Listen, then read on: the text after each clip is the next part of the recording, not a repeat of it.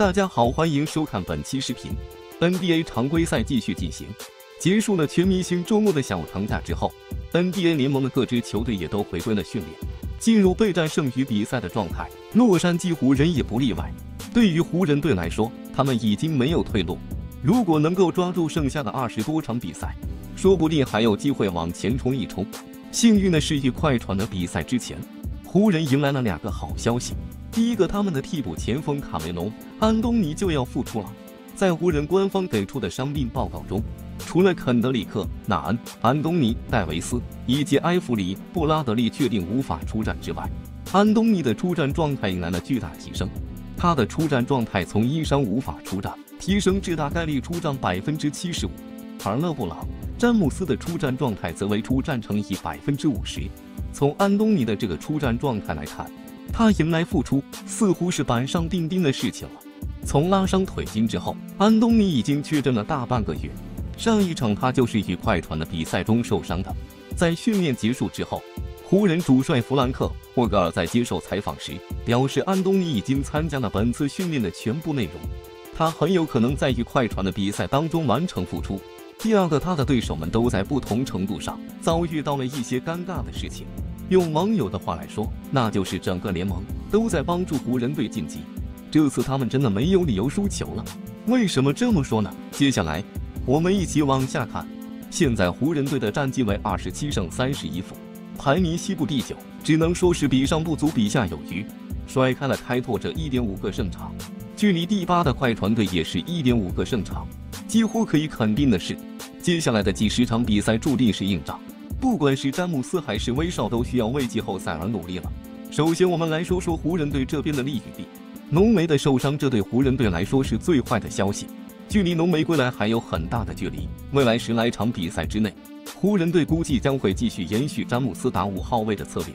值得一提的是，剩余的比赛中，湖人队的赛程是最难的，对手的平均胜率在百分之五十三点八之间，这对阵容不全的湖人队来说同样是一个不利的因素。除了浓眉和对手之外，詹姆斯的健康同样是湖人队不能忽略的一个元素。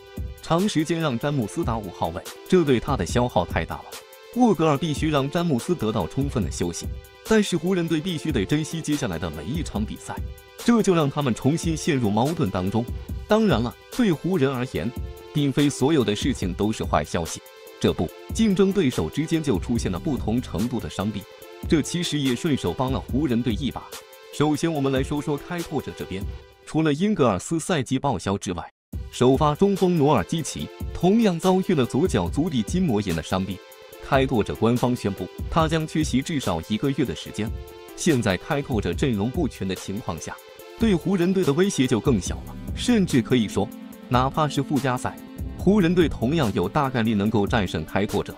当然了，对于湖人队来说，最好的状况就是能够往前冲一下。争取进入七到八名之间。当然，湖人队是有机会的。快船队这边阵容同样不完整，虽然说乔治有望近期归来，但是角色球员能不能撑到那个时候很难说。刚刚加盟的鲍威尔遭遇了左脚骨折的伤病，这让快船队的阵容更加空虚。胜场差距不大的情况下，湖人队还是有机会反超快船队的。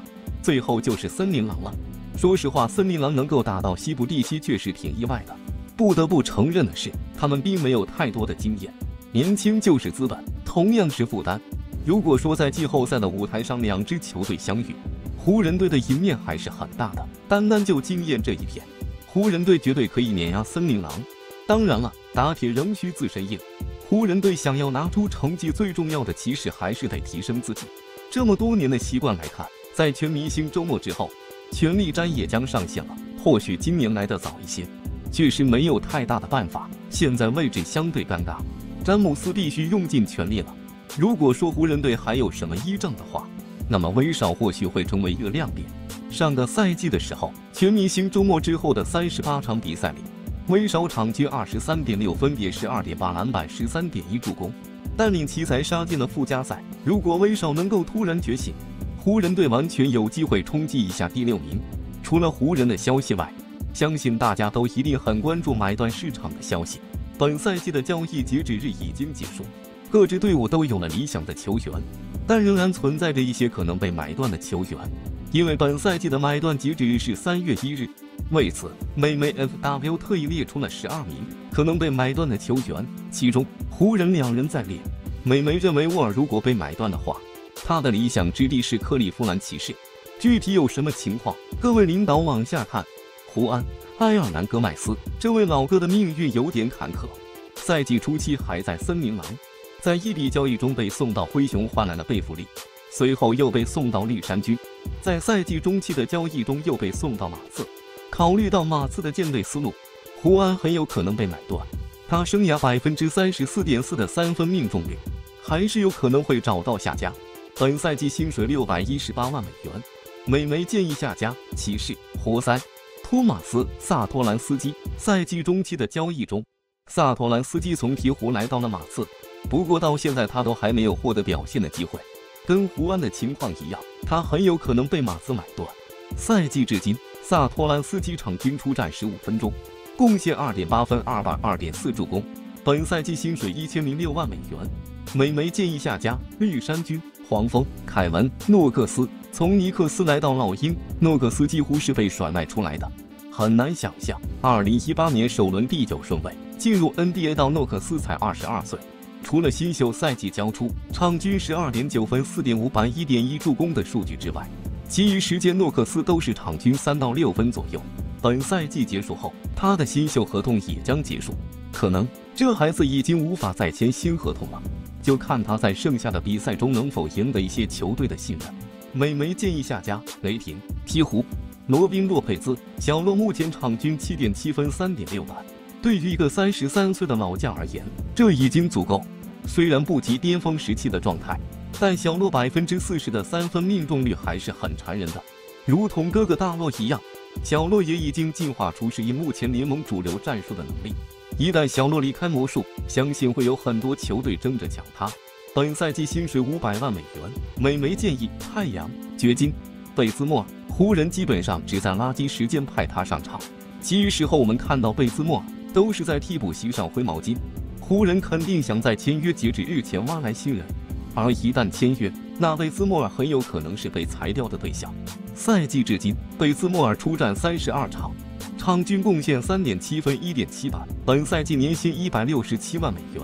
美媒建议老鹰、猛龙、胡德。曾经被视为是夺冠拼图的胡德，在来到雄鹿之后，上场时间越来越少，当然他的状态也越来越差。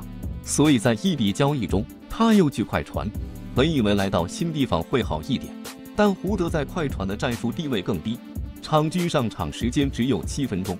现在胡德需要证明自己，毕竟他也才二十九岁，还有时间冲击总冠军。本赛季年薪二百二十四万。美媒建议下一站公牛、热火。戈尔吉·吉昂在马刺的十六场比赛，戈尔吉场均五点三分、二点六板。老鹰看中了他，在去年休赛期给了他一份一年四百万的合同。在老鹰队三十七场比赛里，戈尔吉场均出战九分钟，贡献三点六分三板，表现只能说一般。目前老鹰仅列东部第十，他们需要在内线签约一名更有经验的球员，所以戈尔吉很有可能被裁掉。而灰熊这边需要一名替补内线，戈尔吉比克拉克的身体素质要好一点，所以美媒建议戈尔吉的下一站灰熊或者森林狼。德安德烈·乔丹有段时间，外界一直在质疑沃格尔不用霍华德，用黄叔被说成什么样了？想必大家还有印象。沃格尔给足了小乔丹机会，但没有办法，人到了年纪，爆发力、移动脚步都出现了明显下滑，后面小乔丹的出战时间也屈指可数。所以，不仅贝兹莫尔可能被买断，小乔丹也存在可能。美媒认为，小乔丹曾经跟保罗一起合作过。黄叔去太阳队可能最适合。保罗·米尔萨普被送至七十六人后，米尔萨普看似找到新家，可从未来的规划上，这位四届全明星得主已经到了没有上场时间段地步。七十六人也很有可能将其买断。虽然巅峰已过，但从场上表现来看，米尔萨普仍然可以稳定输出。从二零一零到二零二一年之间，他的命中率高达百分之四十八。美媒认为公牛签下特里斯坦。汤普森，湖人有霍华德和戴维斯，米尔萨普的最佳之地是勇士。丹尼斯·施罗德，湖人一直有意签回施罗德，可他现在在火箭过得很开心，有稳定的出战时间，在年轻人居多的球队也很有地位。不过火箭可能不会考虑跟他长期合作，毕竟他们的工作重心是在格林、泰特、申京这些人身上。赛季至今，小黑场均得到十四点四分、三点三篮板和四点二助攻。考虑到湖人和公牛都曾有意他，所以美媒建议他下一站选择湖人或者公牛。埃里克·布莱德索却不到了一定年纪，运动能力大不如前，一米八十五的个子也逐渐成了他的劣势。虽然还能贡献场均九点九分、三点四板、四点二助攻、一点三抢断的数据，可他拿到年薪可是一千八百一十二万美元啊！在利拉德受伤、CJ 远走后，开拓者会暂时留下他。如果他没有长远为开拓者效力的计划，那他可能会寻求买断去其他球队。美媒建议续布下家，尼克斯、绿衫军、约翰·沃尔。沃尔其实并不想只拿钱不打球。他在社媒上一直在晒自己的训练视频，这也是在告诉外界自己一直在保持状态，随时准备回归。在与威少互换东家的交易中失利后，沃尔复出打球之路可能会被彻底关上，因为没有球队会愿意赌一个三十二岁、拿着四千五百加年薪、受过大伤的球员。所以沃尔眼下想打球，唯有买断，没有其他选择。考虑到骑士需要优秀后卫。美媒建议沃尔下家，气势、公牛。当然，如果我是沃尔的话，我肯定不会买断。本赛季薪水是四千四百三十一万美元，下赛季沃尔的球员选项是四千七百三十七万美元。